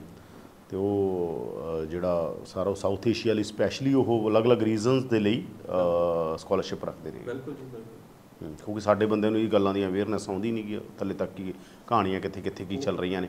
ਉਹ ਉੱਥੇ ਹੀ ਫਸੇ ਰਹਿੰਦੇ ਨੇ ਬਸ ਠੀਕ ਹੈ ਇੱਕ ਵਾਰ ਪੀਆਰ ਮਿਲੇ ਤੇ ਟਰੱਕ ਤੇ ਚੜੀਏ ਜਾਂ ਮਤਲਬ ਯਾਦਵਿੰਦਰ ਜੀ ਉਹ ਗੱਲ ਆਏ ਆ ਦੇਖੋ ਹੁਣ ਮੇਰੇ ਕੋਲੇ ਬੱਚਾ ਆਇਆ ਮੈਂ ਹੁਣ ਬੱਚਾ ਤਾਂ ਆ ਉਮੀਦ ਕਰਕੇ ਆਉਂਦਾ ਆਪਾਂ ਨਾ ਜਦੋਂ ਕੋਈ ਕੋਈ ਕਹਦੇ ਨਾ ਕਿ ਆਹ ਇਮੀਗ੍ਰੇਸ਼ਨ ਏਜੰਟ ਆ ਬਹੁਤ ਚੜਾਉਂਦੀ ਹੈ ਜੀ ਸਾਡੇ ਇੰਡਸਟਰੀ ਵਾਲੇ ਬੰਦਿਆਂ ਨੂੰ। ਕਹਿੰਦੇ ਨਹੀਂ ਜੀ ਅਸੀਂ ਕੰਸਲਟੈਂਟ ਆ। ਬਸ ਕੰਸਲਟ ਤਾਂ ਕੀਤਾ ਹੀ ਨਹੀਂ। ਕੰਸਲਟੇਸ਼ਨ ਤਾਂ ਉਹ ਲੈਣ ਆਇਆ ਸੀਗਾ ਤੁਹਾਡੇ ਕੋਲੇ। ਕਿ ਹਾਂਜੀ ਮੈਂ ਕਰਾਂ ਕੀ ਕੀ ਹਾਂ। ਤੇ ਉਹਨੂੰ ਆਪਾਂ ਕਹਿਦਾ ਕਿ ਇੱਥੇ 5.5 ਤੇ ਵੀਜ਼ਾ ਆਈ ਜਾਂਦਾ ਤੂੰ ਇੱਥੇ ਚੜ ਆਪਾਂ ਗੱਲ ਆ ਇੱਥੇ ਇੱਥੇ ਮੰਗਾਤੀ। ਕੰਸਲਟੇਸ਼ਨ ਆ ਸਭ ਤੋਂ ਪਹਿਲਾਂ। ਕੰਸਲਟੇਸ਼ਨ ਆ ਜੀ। ਕਿ ਕਿਵੇਂ ਬੱਚਾ ਕਿਹੜੇ ਫੀਲਡ 'ਚ ਜਾਵੇ ਕਿਹੜੇ 'ਚ ਉਹਨੂੰ ਫਾਇਦਾ ਹੋ ਸਾਰੀ ਉਮਰ ਤੁਹਾਨੂੰ ਯਾਦ ਕਰੇਗੀ ਮੈਨੂੰ ਵਧੀਆ ਗਾਈਡ ਕੀਤੀ। ਬਿਲਕੁਲ ਜੀ ਇਹ ਕੋਈ ਗਾਲਾਂ ਕੱਢੀ ਜਾਓ ਜਾ ਕੇ। ਬਿਲਕੁਲ। ਨਹੀਂ ਤਾਂ ਜੀ ਨੂੰ ਗਾਲਾਂ ਕੱਢਦੇ ਲੋਕ ਵੀ ਇਹਨੇ ਫਸਾਤਾ। ਯਾਦ ਹੀ ਕੌਣ ਕਰਦਾ ਜੀ? ਕੌਣ ਕਰੂਗਾ? ਗਾਲਾਂ ਨੂੰ ਹੀ ਯਾਦ ਕਰੂਗਾ ਜੇ ਕਰੂਗਾ। ਹੂੰ। ਤੇ ਆਹੀ ਹੈ ਜੀ ਕਿ ਜੇ ਆਪਾਂ ਪੜਨ ਜਾ ਰਹੇ ਹਾਂ ਕਿਸੇ ਵੀ ਕੰਟਰੀ ਚਲੇ ਜਾਓ। ਹੂੰ। ਯੂਰੋਪੀਅਨ ਕੰਟਰੀ ਚਲੇ ਜਾਓ ਕੈਨੇਡਾ ਚਲੇ ਜਾਓ ਯੂਐਸ ਚਲੇ ਜਾਓ ਆਸਟ੍ਰੇਲੀਆ ਚਲੇ ਜਾਓ ਪ੍ਰੋਸੀਜਰ ਸਭ ਦਾ ਸੇਮ ਆ। ਤੇ ਆ ਜਿਹੜੇ ਪੈਕੇਜ ਹੋਈ ਜਾਂਦੇ ਜੀ ਹੋਰ ਹੋਈ ਜਾਂਦੇ ਆ ਅਸੀਂ ਮੈਂ ਜੇ ਐਜ਼ ਅ ਬਿਜ਼ਨਸ ਤੋਂ ਮੈਨੂੰ ਛੱਡ ਦੋ ਨਾ ਤੇ ਮੈਂ ਇਹ ਕਹੂੰਗਾ ਕਿ ਇਹ ਕਰਨੇ ਹੀ ਨਹੀਂ ਚਾਹੀਦੇ ਤੁਹਾਨੂੰ। ਇਹ ਨੁਕਸਾਨ ਆ ਇੱਥੋਂ ਪਹਿਲਾਂ ਤਾਂ ਆਪਦੀ ਜੇਬ ਚੋਂ ਇੱਥੋਂ ਖਾਲੀ ਕਰ ਰਹੇ ਹੋ। ਉਸ ਤੋਂ ਬਾਅਦ ਜਵਾਕ ਤੇ ਬਰਡਨ ਜਿਹੜਾ ਜਾ ਰਿਹਾ ਬਾਹਰ। ਤੇ ਉਹਦੇ ਤਹਿਤ ਤੇ ਆ ਬਰਡਨ ਆ ਮੇਰੇ ਘਰਦਿਆਂ ਨੇ ਆਏ ਮੈਨੂੰ ਭੇਜਿਆ। ਤੇ ਮੈਂ ਪੂਰਾ ਕਰਕੇ ਦਵਾਂ। ਕਿਵੇਂ ਕਰ ਲੂਗਾ ਜੀ? ਜੇ ਹੁਣ ਕੈਨੇਡਾ ਦਾ ਮੈਂ ਲਾ ਲਾਂ ਕਿਵੇਂ ਪੈਸੇ ਘਰੇ ਭੇਜ ਲੂਗਾ ਬੱਚਾ? ਨਹੀਂ ਭੇਜ ਸਕਦਾ ਜੀ। ਉਹ ਪੜ੍ਹ ਕੇ ਭੇਜ ਸਕਦਾ। 4 ਸਾਲ ਦੀ ਪੜ੍ਹਾਈ ਕਰੂਗਾ ਕਿਸੇ ਵਧੀਆ ਕੰਪਨੀ 'ਚ ਲੱਗੂਗਾ ਜਾਂ ਉਹਦੇ ਕੋਲ ਕੋਈ ਸਕਿੱਲ ਇਹੋ ਜਿਹਾ ਹੋਇਆ ਤੇ ਜਿਹੜਾ ਉਹ ਅਰਨ ਕਰ ਸਕਦਾ ਫਿਰ ਉਹ ਭੇਜੂਗਾ। ਤੁਸੀਂ ਯੂਨੀਵਰਸਿਟੀ ਆਫ ਬੋਸਟਨ ਚ ਮਾਸਟਰਸ ਕੀਤੀ। ਹਾਂਜੀ। ਤੇ ਫਿਰ ਵਾਪਸ ਆ ਗਏ। ਹਾਂਜੀ। ਇਹ ਕਿਵੇਂ ਹੋਇਆ? ਅ, ਮੈਂ ਬੰਦੇ ਤਾਂ ਵਾਪਸ ਆਉਂਦੇ ਨਹੀਂ। ਬਿਲਕੁਲ ਜੀ। ਮੈਂ ਨਾ ਪਹਿਲਾਂ ਸੋਚ ਕੇ ਗਿਆ ਸੀ। ਐਕਚੁਅਲੀ ਐਜੂਕੇਸ਼ਨ ਵੱਲ ਸੀਗਾ ਘਰਦਿਆਂ ਨੂੰ ਉਹ ਵੀ ਆਈ ਸੀਗਾ ਕਿ ਆਦੀ ਮਾਸਟਰਸ ਵਾਲੀ ਐਜੂਕੇਸ਼ਨ ਪੂਰੀ ਕਰ, ਫੇਰ ਕਿਸੇ ਕੰਮ 'ਚ ਪੈਣਾ। ਕਿ ਪਹਿਲਾਂ ਉਹਦੀ ਪੜ੍ਹਾਈ ਵਾਲਾ ਕੰਮ ਨਿਬੇੜ ਲਾ ਤੇ ਮੈਂ ਪਹਿਲਾਂ ਇੱਥੇ ਲੱਗਿਆ ਜੀ ਇੰਡੀਆ 'ਚ ਪੜ੍ਹਨ ਐਮਬੀਏ ਕੀ ਇੱਥੋਂ ਹੀ ਕਰ ਲੈਣਾ ਇੱਥੇ ਵਧੀਆ ਜੀ, ਕਿ ਕੁਝ ਪੜ੍ਹਨ ਨੂੰ ਨਹੀਂ ਹੁੰਦਾ। ਕਾਲਜ ਜਾਣਾ, ਗੇੜੇ ਗੂੜੇ ਦੇਣੇ, ਆ ਜਾਣਾ ਜੀ, ਬਸ ਆਹ ਕੰਮ ਹੁੰਦਾ। ਤੇ ਬਟ ਉੱਥੇ ਜਿਹੜਾ ਬੱਚੇ ਨੂੰ ਆਹੀ ਲੱਗਦਾ ਜੀ। ਇਹੀ ਗੱਲ ਆਪਣੀ ਕੰਸਲਟੇਸ਼ਨ ਚ ਆ ਜਾਣੀ। ਬੱਚੇ ਨੂੰ ਆ ਲੱਗਦਾ ਕਿ ਮੈਨੂੰ ਐਂ ਲੱਗਿਆ, ਮੈਂ ਕਿਹਾ ਯਾਰ ਇੱਥੇ ਤਾਂ ਐਸ਼ਾ ਬਾਹਰ ਜਾ ਕੇ ਕਰੂੰਗਾ? ਆਪ ਕੰਮ ਕਰਨਾ ਪਊਗਾ ਜਾਂ ਜੇ ਮੇਰੇ ਪੇਰੈਂਟਸ ਵੀ ਲਾ ਦੇਣਗੇ, ਉੱਥੇ ਰਹਿਣਾ ਤਾਂ ਪੈਣਾ। ਉੱਥੇ ਉਨਾ ਟਾਈਮ ਰਹਿ ਕੇ ਵੀ ਡਿਗਰੀ ਕਰਨੀ ਪੈਣੀ ਆ। ਯਾਰਾਂ ਦੋਸਤਾਂ ਤੋਂ ਦੂਰ ਆ ਫੈਮਿਲੀ ਤੋਂ ਦੂਰ ਆ, ਸਾਰਿਆਂ ਤੋਂ ਦੂਰ ਆ। ਬਟ ਜੀ ਜਿਹੜਾ ਪੜ੍ਹ ਕੇ ਉੱਥੇ ਐਕਸਪੋਜ਼ਰ ਆਇਆ, ਉਹ ਮਤਲਬ ਕਿ ਮੇਰੀ ਲਾਈਫ ਦਾ ਬੈਸਟ ਉਹ ਪੀਰੀਅਡ ਆ, ਜਿਹੜਾ ਮੈਂ ਕਹਿ ਸਕਦਾ ਜਿੱਥੋਂ ਸਿੱਖਿਆ ਕੁਝ ਜਾਂ ਬੰਦਾ ਧੱਕੇ ਖਾ ਕੇ ਸਿੱਖਦਾ ਜੀ। ਜਾਂ ਸੈਕੰਡ ਚੀਜ਼ ਉਹ ਹੈ ਜੀ ਜਿੱਥੋਂ ਸਿੱਖਿਆ ਕੁਝ ਮੈਂ ਇਹੀ ਤਾਂ ਕਹਿੰਦੇ ਕਿ ਅਮਰੀਕਾ ਤਾਂ ਲੋਕ ਡੌਂਕੀਆਂ ਲਾ ਲਾ ਜਾ ਰਹੇ ਨੇ ਤੁਸੀਂ ਗਏ ਵਾਪਸ ਆ ਗਏ ਕਿ ਮੈਂ ਪੰਜਾਬ ਆਉਣਾ। ਇਹ ਇੰਡੀਆ 'ਚ ਵਧੀਆ ਜੀ ਇੰਡੀਆ ਮਾੜਾ ਨਹੀਂ ਹੈਗਾ। ਇੰਡੀਆ ਜੇ ਜੇ ਅੱਜ ਦੀ ਇੰਡੀਆ ਦੀ ਪੋਜੀਸ਼ਨ ਲਈਏ ਨਾ ਤੇ ਬਹੁਤ ਕੰਟਰੀਆਂ ਕੰਟਰੀਜ਼ ਤੋਂ ਬੈਟਰ ਆ। ਅਮਰੀਕਾ ਚ ਰੈਸੈਸ਼ਨ ਆ ਕੈਨੇਡਾ ਚ ਬੁਰਾ ਹਾਲ ਹੋਇਆ ਹੋਇਆ। ਪਰ ਇੰਡੀਆ ਚ ਵੀ ਤਾਂ ਤੁਸੀਂ ਕਰ ਸਕਦੇ ਹੋ ਜੇ ਕਿਤੋਂ ਐਜੂਕੇਸ਼ਨ ਵਧੀਆ ਲਈ ਹੈ ਹੁਣ ਕੈਨੇਡਾ ਬੱਚਾ ਗਿਆ ਇੱਕ 60000 ਡਾਲਰ ਉਹਨੇ ਪੜ੍ਹਾਈ ਤੇ ਲਾਤਾ, ਸਮਝੋ। ਆਪਦੇ ਉੱਥੇ ਰਹਿਣ ਸਹਿਣ ਦਾ ਖਰਚਾ ਉਹ ਕਿਸੇ ਨਾ ਕਿਸੇ ਤਰੀਕੇ ਉੱਥੇ ਕੱਢ ਲੈਂਦਾ ਜਾਂ ਲੋਨ ਲੈ ਕੇ ਜਾਂਦਾ। ਇੰਡੀਆ ਆ ਕੇ ਉਹਨੂੰ ਇੰਡੀਆ ਤੋਂ ਪੜੇ ਦੀ ਦੁੱਗਣੀ ਜੌਬ ਮਿਲਣੀ ਹੀ ਮਿਲਣੀ ਹੈ। ਜੌਬ ਨਹੀਂ ਮਿਲਣੀ ਤਾਂ ਬਿਜ਼ਨਸ ਕਰੂਗਾ, ਘੱਟੋ ਘੱਟ ਉਹ ਮਾਈਂਡਸੈਟ ਲੈ ਕੇ ਆਊਗਾ ਕਿ ਆ ਮੈਂ ਉੱਥੋਂ ਸਿੱਖ ਕੇ ਆਇਆ ਤੇ ਇੰਡੀਆ 'ਚ ਇੰਪਲੀਮੈਂਟ ਕਰ ਰਿਹਾ। ਗਰੋਇੰਗ ਕੰਟਰੀ ਹੈ ਜੀ। ਇਹ ਦੋ ਵਧੀਆ ਕਿੱਥੇ ਆ? ਇੰਨੀ ਪੋਪੂਲੇਸ਼ਨ ਦਾ ਬੈਨੀਫਿਟ ਕੋਈ ਕੰਟਰੀ ਨਹੀਂ ਦੇ ਸਕਦੀ ਜੀ। ਇਹ ਹੋ ਸਕਦਾ ਆਉਣ ਵਾਲੇ ਸਮੇਂ 'ਚ ਐ ਹੋਵੇ ਕਿ ਲੋਕ ਉੱਥੇ ਜਾਣ ਪੜਨ ਥੋੜਾ ਬਹੁਤਾ ਕਾਰੋਬਾਰ ਕਰਨ ਜੌਬ ਕਰਨ, ਫਿਰ ਆ ਕੇ ਇੱਥੇ ਸੈੱਟ ਹੋਣ? ਹੋਣਾ ਹੀ ਚਾਹੀਦਾ ਜੀ। ਹੋਣਾ ਹੀ ਚਾਹੀਦਾ। ਇੱਥੇ ਇੰਡੀਆ ਹੁਣ ਉਸ ਸਟੇਜ ਤੇ ਆ, ਜਿੱਥੇ ਰਿਵਰਸ ਮਾਈਗ੍ਰੇਸ਼ਨ ਪੋਸੀਬਲ ਆ। ਪਹਿਲਾਂ ਪੋਸੀਬਲ ਨਹੀਂ ਸੀ। ਪਹਿਲਾਂ ਐਂ ਲੱਗਦਾ ਸੀਗਾ ਕਿ ਹਾਈਪੋਥੈਟੀਕਲ ਗੱਲਾਂ ਨੇ। ਇਹ ਪੋਸੀਬਲ ਨਹੀਂ ਹੈਗਾ ਕਿ ਗੱਲਾਂ ਕਰਨ ਨੂੰ ਆਪਾਂ ਕਰੀ ਜਾਂਦੇ ਆ। ਹੁਣ ਇੱਥੇ ਪੋਸੀਬਲ ਆ। ਦੇਖੋ, ਕੋਈ ਵੀ ਬ੍ਰਾਂਡ ਆ, ਕੋਈ ਕੁਛ ਕਿਸੇ ਨੇ ਕੋਈ ਇਨੋਵੇਟਿਵ ਚੀਜ਼ ਲਿਆ ਕੇ ਜਿਹੜੀ ਕੈਨੇਡਾ ਚ ਆ, ਕੋਈ ਇਨੋਵੇਟ ਆਪਾਂ ਹੁਣ ਇੱਕ ਕੰਪਨੀ ਲਾ ਲਓ ਟਿਮ ਹਾਰਟਨ ਵਰਗੀ ਕੰਪਨੀ ਲਾ ਲਓ। ਹੁਣ ਇੱਥੇ ਇੰਨਾ ਕ੍ਰੇਜ਼ ਸੀਗਾ ਜੀ ਉਹ ਕੰਪਨੀ ਦਾ ਇਹਨਾਂ ਇਨਵੈਸਟ ਕਰ ਰਹੀ ਹੈ ਕਿ ਹਾਂਜੀ ਕਿ ਕੈਨੇਡਾ ਤੋਂ ਆ ਕੇ ਲੋਕੀ ਇੰਡੀਆ ਵਾਲਿਆਂ ਨੇ ਲਾਈਨਾਂ ਲਾ ਕੇ ਪੀਤੀ ਜੀ ਕਾਫੀ ਉਹ। ਉਹੀ ਚੀਜ਼ ਹੈ ਕਿ ਉੱਥੋਂ ਤੁਸੀਂ ਕੀ ਲੈ ਕੇ ਆਉਂਦੇ ਹੋ ਕੀ ਸਿੱਖ ਕੇ ਆਉਂਦੇ ਹੋ ਤੇ ਇੰਡੀਆ ਜਾ ਕੇ ਕਿਵੇਂ ਇਨਵੈਸਟ ਕਰਦੇ ਹੋ ਚੀਜ਼ ਨੂੰ। ਤੇ ਉੱਥੇ 4-5 ਕਰੋੜ ਦੀ 4 ਕਰੋੜ ਦੀ ਪੋਪੂਲੇਸ਼ਨ ਆ ਜੀ। ਕੱਲੇ ਪੰਜਾਬ ਦੀ 3 ਕਰੋੜ ਤੋਂ ਉੱਤੇ ਦੀ ਪੋਪੂਲੇਸ਼ਨ ਆ। ਤੁਸੀਂ ਉਹ ਪੋਪੂਲੇਸ਼ਨ 'ਚ ਫ਼ਰਕ ਦੇਖੋ ਤੁਸੀਂ ਕਿੰਨੇ ਕਿੰਨੇ ਨੂੰ ਮਾਸਕੇਟਰ ਕਰ ਰਹੇ ਹੋ। ਬਿਜ਼ਨਸ ਇੰਡੀਆ ਤੋਂ ਵਧੀਆ ਕਿੱਥੇ ਹੋ ਸਕਦਾ ਜੀ? ਕਿਤੇ ਵੀ ਨਹੀਂ। ਜੌਬਸ ਜਿਹੜਾ ਬਿਜ਼ਨਸ ਚੱਲ ਰਿਹਾ ਹੁਣ ਉਹਨੇ ਜੌਬਸ ਵੀ ਤਾਂ ਕ੍ਰੀਏਟ ਕਰਨੀਆਂ ਜਿੱਡਾ ਵੱਡਾ ਬਿਜ਼ਨਸ ਆ। ਜੌਬਸ ਵੀ ਇੰਡੀਆ 'ਚ ਹੋ ਸਕਦੀਆਂ। ਸਿਸਟਮ ਹੈਗਾ ਉਹ ਹੌਲੀ ਹੌਲੀ ਡਿਵੈਲਪਿੰਗ ਨੇਸ਼ਨ ਆ ਹੌਲੀ ਹੌਲੀ ਸੁਧਰ ਜਾਊਗਾ ਜੀ। ਆਪਣੇ ਲਾਈਫ ਟਾਈਮ 'ਚ ਸੁਧਰ ਜਾਊਗਾ। ਤੁਹਾਨੂੰ ਵੀ ਅਸੀਂ ਰਿਵਰਸ ਮਾਈਗ੍ਰੇਸ਼ਨ ਦਾ ਬੈਸਟ ਕੇਸ ਮੰਨੀਏ। ਕਰ ਸਕਦੇ ਹੋ ਜੀ ਬਟ ਮੈਨੂੰ ਕਈ ਚੀਜ਼ਾਂ ਇੰਡੀਆ ਦੀਆਂ ਬੈਟਰ ਲੱਗਦੀਆਂ ਸੀ। ਤਾਂ ਹੀ ਜਦੋਂ ਗ੍ਰੈਜੂਏਸ਼ਨ ਹੋਈ ਮੇਰੀ ਉੱਥੇ ਮਾਸਟਰਸ ਕੀਤੀ ਮੈਨੂੰ ਜੌਬ ਲੱਗੀ ਸੀਗੀ ਜੀ। 90000 ਡਾਲਰ ਦੀ ਆਫਰ ਸੀ। ਤੇ ਮੈਂ ਇੰਟਰਵਿਊ 'ਚ ਬੈਠਣ ਹੀ ਨਹੀਂ ਗਿਆ ਨਾ ਕਰੇ ਦੱਸਿਆ। ਮੈਂ ਕਿਤੇ ਉੱਥੇ ਨਾ ਰੱਖ ਰੱਖ ਲੈਣ। ਕਰਦੇ ਨੇ ਦੱਸੇ ਨਹੀਂ। ਘਰਦਿਆਂ ਨੂੰ ਦੱਸਿਆ ਨਹੀਂ ਕਿ ਮੈਨੂੰ ਜੌਬ ਲੱਗ ਰਹੀ ਹੈ ਕੁਝ ਹੋ ਰਿਹਾ। ਤੇ ਉੱਥੇ ਹੀ ਰਿਜੈਕਟ ਕੀਤੀ ਮੈਂ ਕਿਹਾ ਨਾ ਮੈਂ ਇੰਟਰਵਿਊ 'ਚ ਬਹਿਣਾ ਤੇ ਮੈਂ ਕਰਨਾ ਹੀ ਨਹੀਂ। ਮੈਂ ਤਾਂ ਆਪਦੀ 27 ਤਰੀਕ ਨੂੰ ਡਿਗਰੀ ਮਿਲੀ 28 ਤਰੀਕ ਨੂੰ ਮੈਂ ਵਾਪਸ ਸੀ ਇੰਡੀਆ ਇਹ ਮੋਟੀਵੇਸ਼ਨ ਕਿੱਥੋਂ ਮਿਲਦੀ ਹੈਗੀ? ਤੁਹਾਡੀ ਤਾਕਤ ਕੀ ਹੈਗੀ? ਕਿਸੇ ਵੀ ਬੰਦੇ ਦੀ ਕੋਈ ਕਿਤਾਬਾਂ ਪੜ੍ਹਦਾ ਕੋਈ ਕਿਸੇ ਕਿਸੇ ਚੀਜ਼ ਨਾਲ ਜੁੜਿਆ ਹੁੰਦਾ ਹੈਗਾ। ਇੱਕ ਬੰਦੇ ਦੀ ਸੋਰਸ ਆਫ એનર્ਜੀ ਹੁੰਦਾ, ਜਿੱਥੋਂ ਉਹਨੂੰ ਮੋਟੀਵੇਸ਼ਨ ਮਿਲਦੀ ਹੈ એનર્ਜੀ ਮਿਲਦੀ ਹੈ। ਇਹ ਜੀ ਮੈਨੂੰ ਲੱਗਦਾ ਨਾ, ਇੱਕ ਦੇਖੋ, ਛੋਟੀ ਉਮਰ 'ਚ ਤਾਂ ਨਹੀਂ ਆਉਂਦਾ। ਜਦੋਂ ਤੁਸੀਂ ਇੱਕ ਦੋ ਕੰਟਰੀਜ਼ ਵਿਜ਼ਿਟ ਕਰਦੇ ਹੋ ਨਾ, ਹਾਂ, ਤਾਂ ਹੀ ਟਰੈਵਲਿੰਗ ਬਹੁਤ ਜ਼ਰੂਰੀ ਹੈ। ਜਦੋਂ ਤੁਸੀਂ ਇੱਕ ਦੋ ਕੰਟਰੀਜ਼ ਵਿਜ਼ਿਟ ਕਰਦੇ ਹੋ ਨਾ, ਤੇ ਉਹਨਾਂ ਦੇ ਤੌਰ ਤਰੀਕੇ ਦੇਖਦੇ ਹੋ ਕਿ ਕੀ ਨੇ ਤੇ ਕੀ ਸੱਚ ਆ। ਇੰਡੀਆ 'ਚ ਹੁਣ ਹੋਰ ਤਰ੍ਹਾਂ ਦੀ ਥਿੰਕਿੰਗ ਆ। ਵੈਸਟਰਨ ਕੰਟਰੀਜ਼ 'ਚ ਹੋਰ ਤਰ੍ਹਾਂ ਦੀ ਥਿੰਕਿੰਗ ਆ। ਉਹਦਾ ਜਿਹੜਾ ਕੰਬੀਨੇਸ਼ਨ ਆ ਜੀ, ਉਹ ਬਹੁਤ ਪਾਵਰਫੁਲ ਆ। ਜਦੋਂ ਉਹ ਚੀਜ਼ਾਂ ਆਪਾਂ ਮਿਕਸ ਕਰ ਲਈਆਂ ਨਾ ਤਾਂ ਹੀ ਮੈਂ ਕਹਿੰਦਾ ਮੈਂ ਜ਼ੋਰ ਦਿੰਨਾ ਕਿ ਪੜ੍ਹ ਕੇ ਆਓ ਜ਼ਰੂਰ ਬਾਰ ਪਰ ਆ ਕੇ ਇੰਡੀਆ 'ਚ ਕੰਮ ਕਰੋ। ਜੇ ਮੇਰਾ ਕੋਈ ਮੇਰਾ ਬ੍ਰਦਰ ਆ ਉਹ ਹੁਣ ਇੰਡੀਆ 'ਚ ਹੀ ਪੜ੍ਹ ਰਿਹਾ ਉਹ ਬਾਹਰ ਨਹੀਂ ਗਿਆ ਪੜ੍ਹਨ। ਠੀਕ ਹੈ ਜੀ ਇੰਡੀਆ 'ਚ ਪੜ੍ਹ ਕੇ ਪਰ ਮਾਸਟਰਸ ਕਰਨੀ ਬਹੁਤ ਜ਼ਰੂਰੀ ਹੈ ਜੀ ਬਾਹਰੋਂ। ਜੇ ਮਾਸਟਰਸ ਨਹੀਂ ਕੀਤੀ ਤੇ ਫਿਰ ਇੰਡੀਆ 'ਚ ਵੀ ਨਹੀਂ ਕਰ ਸਕਦੇ। ਤੁਹਾਡੀ ਕੰਸਲਟੇਸ਼ਨ ਦੇ ਲਈ ਲੋਕ ਤੁਹਾਨੂੰ ਕਿੱਥੇ ਕਿੱਥੇ ਅਪਰੋਚ ਕਰ ਸਕਦੇ? ਆਪਾਂ ਬੈਠੇ ਆਂਗੇ ਇਸ ਟਾਈਮ ਸੁਧਾਰ ਚ। ਹਾਂਜੀ। ਹੋਰ ਕਿੱਥੇ ਕਿੱਥੇ ਅਪਰੋਚ ਕਰ ਸਕਦੇ ਸਰ ਸਾਡੀਆਂ ਬ੍ਰਾਂਚਸ ਨੇ ਜੀ ਮੁੱਲਾਪੁਰ ਹੈਗੀ ਆ ਜਗਰਾਉਂ ਆ ਮਾਨਸਾ ਬੁਲਾਡਾ ਰਤੀਆ ਮੋਹਾਲੀ ਆ ਜੀ ਮਾਛੀਵਾੜਾ ਤੇ ਗੁੜਗਾਉਂ।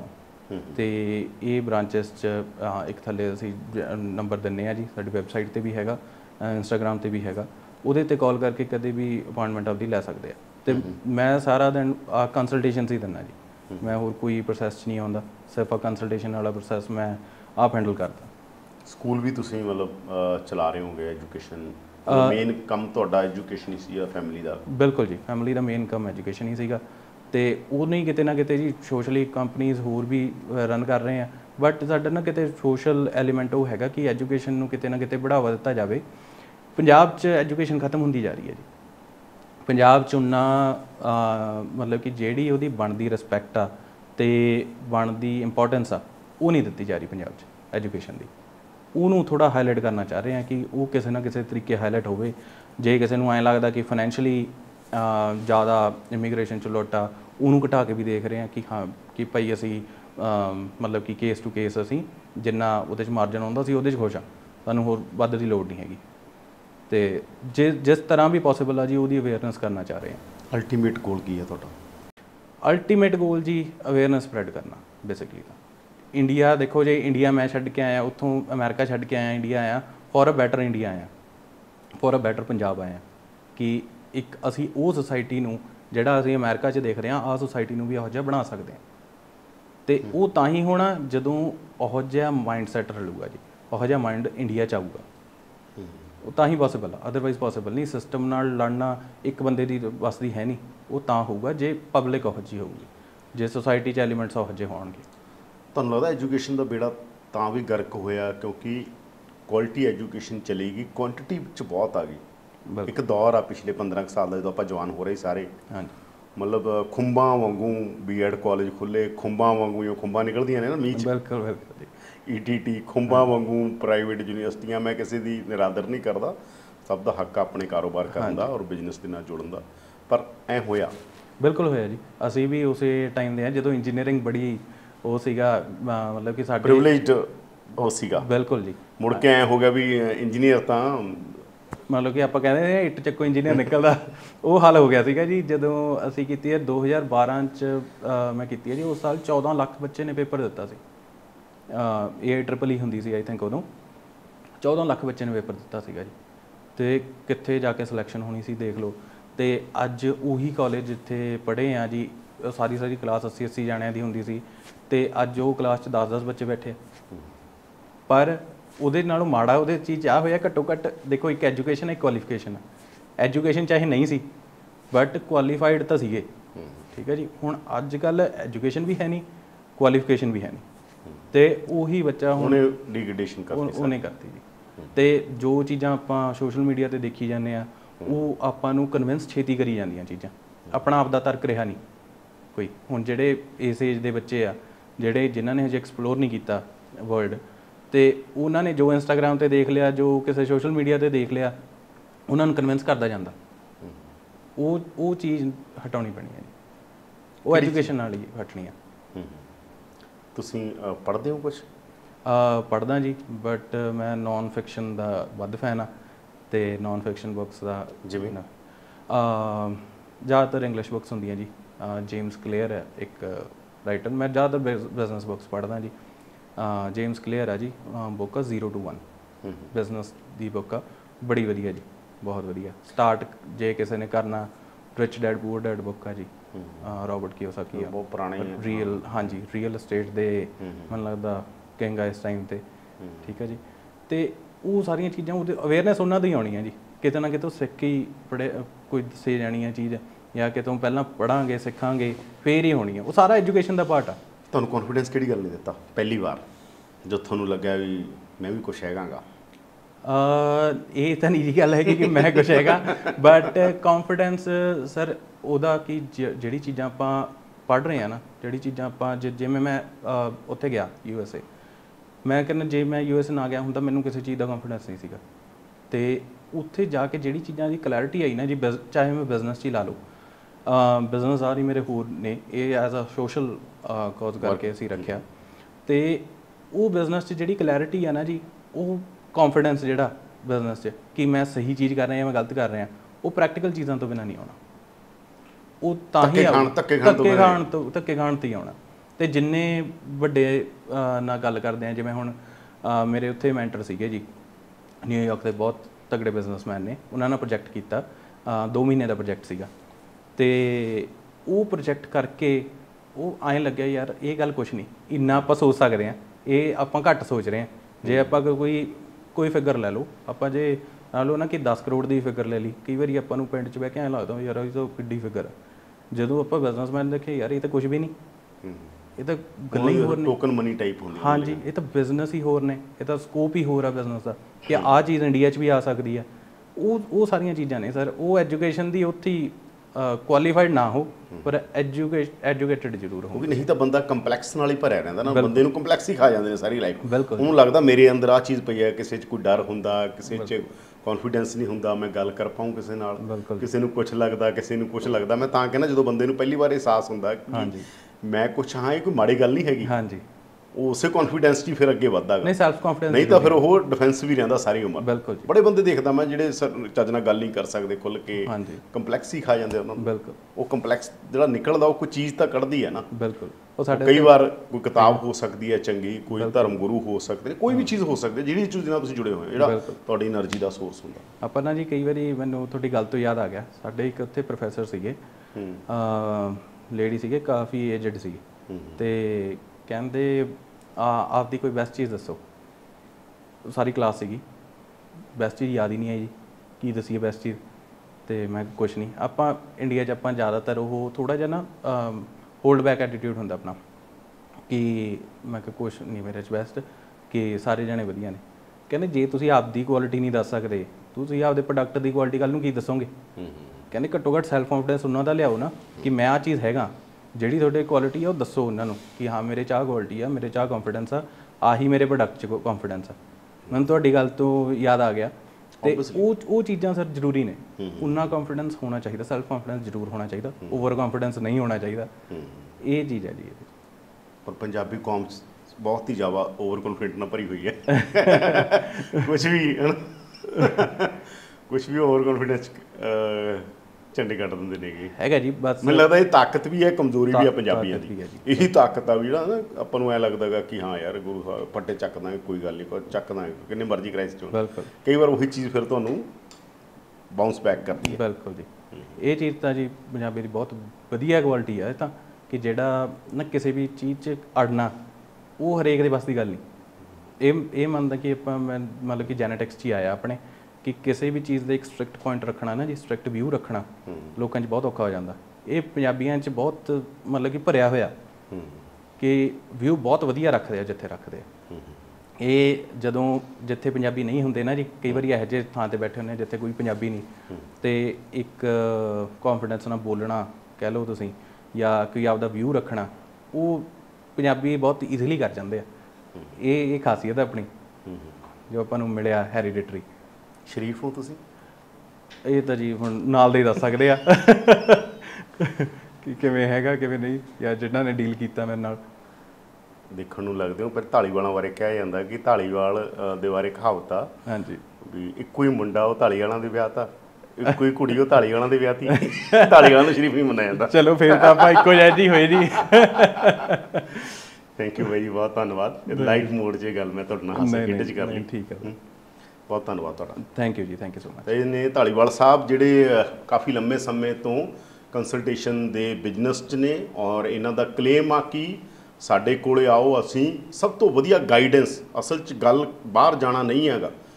ਕੈਨੇਡਾ ਅਮਰੀਕਾ ਜਾਣਾ ਨਹੀਂ ਹੈ ਉੱਥੇ ਜਾ ਕੇ ਤੁਸੀਂ ਕਰਦੇ ਕੀ ਹੋ? ਉੱਥੇ ਜਾ ਕੇ ਤੁਸੀਂ ਕਿਸ ਤਰ੍ਹਾਂ ਦੀ ਪੜ੍ਹਾਈ ਕਰਦੇ ਹੋ ਕਿਸ ਤਰ੍ਹਾਂ ਦੇ ਬਿਜ਼ਨਸ 'ਚੋਂ? ਇਹ ਇੰਪੋਰਟੈਂਟ ਗੱਲ ਆ। ਇੱਥੋਂ ਉੱਥੇ ਜਾ ਕੇ ਜਹਾਜ਼ 'ਚ ਬਹਿ ਕੇ ਉੱਤਰ ਜਾਣਾ ਇੰਪੋਰਟੈਂਟ ਨਹੀਂ ਆ ਤਾਂ ਇਹਨਾਂ ਦਾ ਇਹ ਦਾਵਾ ਕਿ ਅਸੀਂ 25000 ਰੁਪਏ 'ਚ ਹੀ ਪੂਰੀ ਕੰਸਲਟੇਸ਼ਨ ਜੇ ਕੋਈ ਗੜਬੜ ਵੀ ਹੋ ਜੇ, ਅਸੀਂ ਵਾਪਸ ਵੀ ਕਰ ਦਿੰਨੇ ਹਾਂ ਉਹ ਪੈਸੇ। ਤਾਂ ਇਹਨਾਂ ਦਾ ਇਹ ਦਾਵਾ ਤੇ ਕਹਿ ਰਹੇ ਨੇ ਕਿ ਜਦੋਂ ਤੁਸੀਂ ਸਾਡੇ ਕੋਲ ਆਓਗੇ ਤਾਂ ਤੁਹਾਨੂੰ ਇੰਡਸਟਰੀ ਪੂਰੀ ਚੋਂ ਬੈਸਟ ਸਰਵਿਸ ਇੱਥੇ ਮਿਲੇਗੀ।